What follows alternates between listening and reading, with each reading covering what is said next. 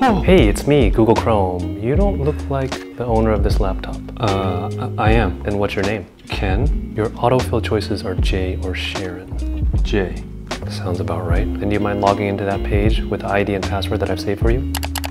Oh, it is you. What are we gonna do today? I bookmarked all those freaky human videos you like to watch. What? Oh, let's watch the one with the 10 dudes and that one donkey. Uh, not today. You're acting suspicious. And this location is weird. 237 miles away from normal location? Okay, okay, 10 dudes, one donkey. Oh, I was referring to watching The Bachelorette.